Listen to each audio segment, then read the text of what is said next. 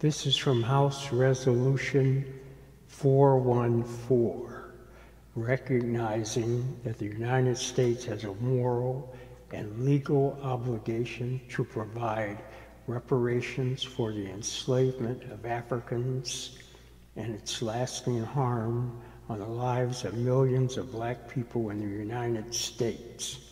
Sponsor, Representative Bush. And here I go.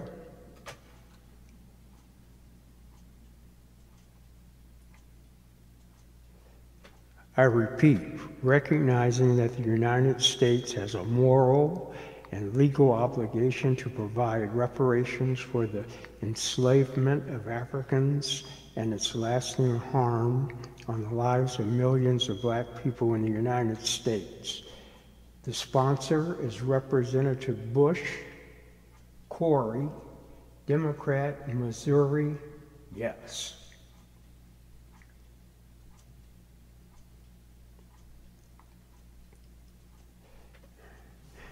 Miss Bush for herself, Miss Lee of California, Miss Tlaib, oh, Miss Tlaib, Miss Pressley, Mr. Bowman, Mr.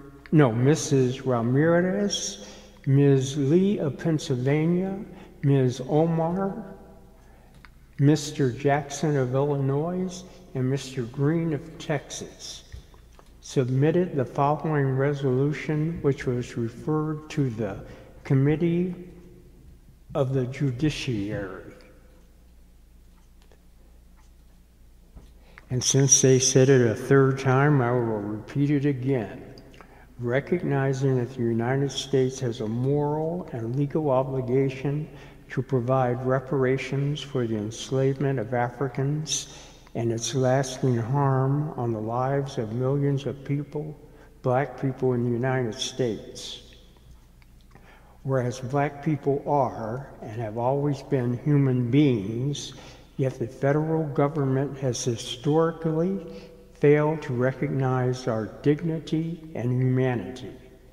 Whereas reparations are defined as a victim centered process by which survivors of atrocities and serious human rights violations and their descendants have the right to seek restitution, compensation, rehabilitation, satisfaction, and guarantee of non repetition for past and ongoing harm.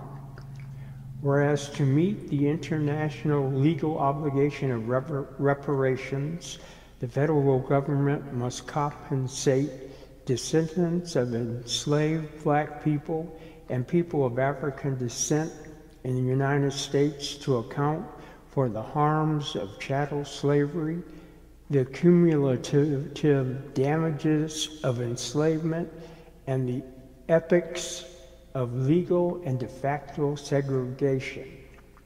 Whereas the federal government is responsible for Number one, policies that led to the economic, political, and social erosion of black communities. Two, failing to keep black people safe from or actively sanctioning white domestic terrorism and failing to prosecute it when it occurred.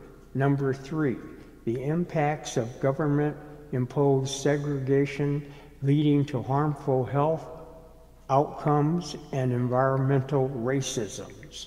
Number four, the ongoing harms of racialized mass incarceration and family separation, oppressive and abusive criminalization, and the continued impact of embattled historical harms of the criminal legal system on black people and black communities. And number five, banking, consumer, housing, health, education, and employment discrimination.